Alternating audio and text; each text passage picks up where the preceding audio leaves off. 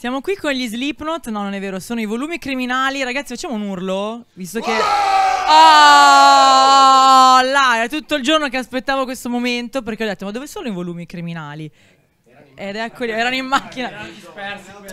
A, a bestemmiare, no, non è vero, non si fa. Non è vero, non si fa. Allora, ragazzi, che cosa vi aspettate da questa finale di Rock Targato Italia?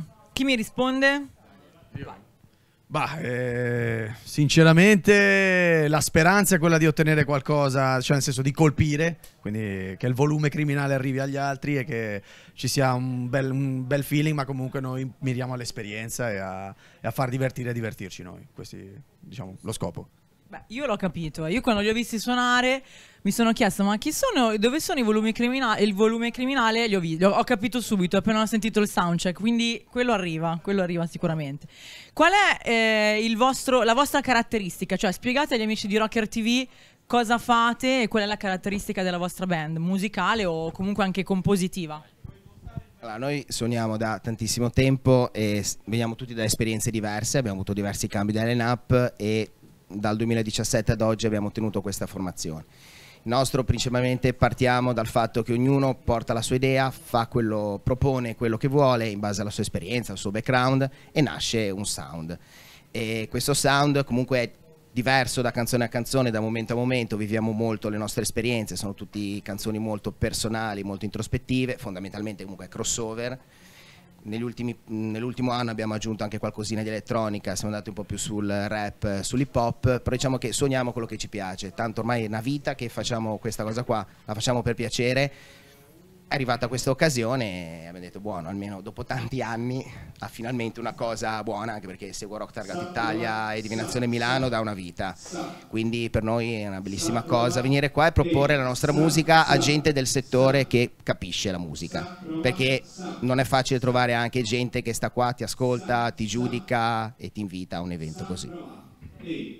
Ahimè è vero e speriamo ci siano sempre più eventi come questo per dare spazio all'underground che per quanto mi riguarda la mia, la mia linfa vitale perché insomma è facile stare dalla parte del mainstream ma in realtà l'underground secondo me è da dove parte tutto. E quindi complimenti perché ho visto che da tanti anni che siete in attivo e quindi bravi perché è il 2001 quindi cioè, di acqua sotto i ponti ne è passata di band ne avete viste e sicuramente di pelle ne avrete cambiate tantissime ma vi chiedo qual è il fiore all'occhiello della vostra band cioè c'è un brano che ehm, vi fa dire ok io vi consiglio di ascoltare cioè per capire chi siamo ascoltate questo brano ma no, sono brutti tutti, guarda.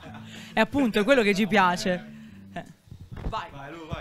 La caratteristica è che noi cerchiamo sempre di fare un brano diverso dall'altro, per eh, la, non essere mai scontati, no? Anche magari quando arrangiamo un pezzo diciamo no, questo è troppo uguale all'altro, allora cerchiamo sempre di... No, non saprei dirti quale... Tutti, dai. Tutti. tutti. Ascoltateli tutti. La band esiste dal 2001 però questa formazione è in piedi da 5 anni, che aveva l'obiettivo di mettere in piedi un EP che è stato composto inizialmente con un'altra formazione e diciamo che solo negli ultimi due anni, anno e mezzo, tra anche il Covid, abbiamo cominciato a mettere in piedi il nostro stile. Quindi quello che portiamo stasera sicuramente è quello che maggiormente rappresenta l'onda che stiamo provando a cavalcare, ma è uno stile completamente in evoluzione. Come ha detto Luca, le canzoni sono tutte diverse, noi siamo sei persone diverse e prego Luca. Il secondo pezzo che faremo ti piacerà sicuramente. Ascoltalo attentamente, potrà, potrà servirti. È un consiglio per tutti. Basta. Invece, visto che abbiamo creato questo hype, dove possiamo trovare il vostro materiale? Allora, noi abbiamo allora, su YouTube, se volete scaricarlo gratis e ascoltarlo gratuitamente, come è giusto che sia, ok? Poi sui nostri canali social, Facebook, vabbè, Instagram, potete ascoltare qualcosa. Se no, su Bandcamp eh, sono disponibili in ascolto i nostri brani, se no sono eh, scaricabili a 5 euro. E questa sera regaleremo i codici per scaricare i nostri brani da Bandcamp ai presenti. Volevo chiedervi questo perché mi incuriosì, non l'ho chiesto a nessuno oggi. Che rapporto avete con i social? Perché secondo me ci sono dei rapporti contrastanti con i social network in questa band.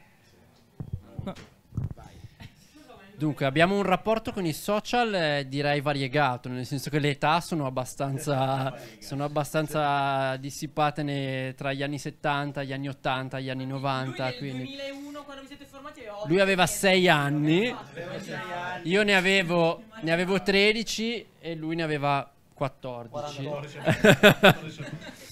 no, quindi in realtà, E io non andavo alle elementari.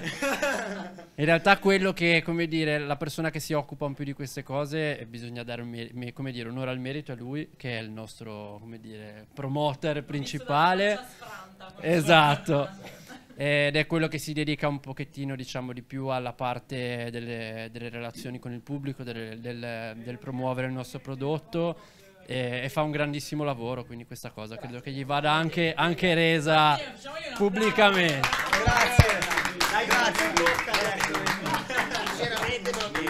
Beh, allora, ragazzi, viva i so. no, ma non so perché, senza offesa, ma l'avevo capito. eh. Cioè, avrei scommesso tutto su. Non lo so, io ho visto proprio la sua faccia disperata quando ho fatto questa domanda dei social, però bravo perché sta facendo un buon lavoro. Quindi, ragazzi, grazie. Eh, in bocca al lupo per dopo. Yeah. Grazie, anche voi, eh. Saluti e baci.